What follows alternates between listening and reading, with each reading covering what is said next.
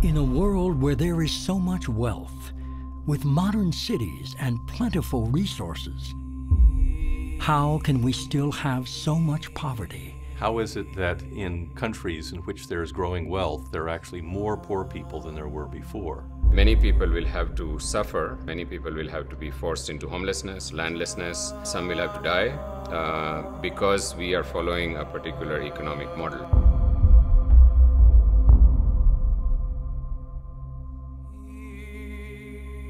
Sub-Saharan Africa is paying $25,000 every minute to northern creditors. I think people don't understand that it is actually the South that is financing the North. Tenho seis filhos e o que eu ganho aqui, se eu for comer tudo aqui, eu vou para casa sem nada.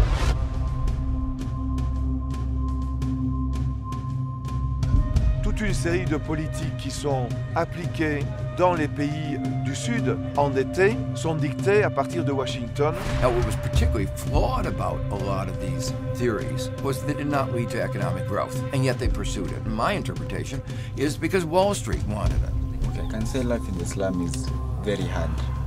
Okay, sometimes we do go without even eating supper now.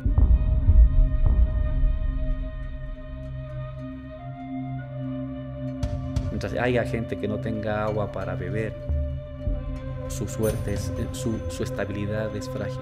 Less than 5% of the world's population live in the United States. We are consuming over 25% of the world's resources. D'ores et déjà, on dépasse, euh, en moyenne mondiale, on dépasse d'environ 30% la capacité de régénération de la biosphère. This system is an absolute failure.